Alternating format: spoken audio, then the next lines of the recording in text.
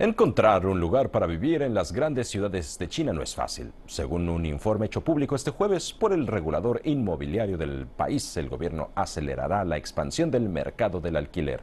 La falta de viviendas, las laxas regulaciones del mercado y la información poco concreta son los principales factores que afectan al mercado del alquiler en China, y ello a pesar de la enorme demanda, especialmente en las grandes ciudades como Beijing y Shanghai. El informe subraya que el gobierno actualizará su sistema supervisor mediante la puesta en marcha de plataformas de servicios de alquiler para ofrecer una mayor transparencia a los inquilinos potenciales y a los propietarios. El Ejecutivo ha elegido una decena de ciudades como Shenzhen y Nanjing para probar las reformas antes de aplicarlas en todo el país.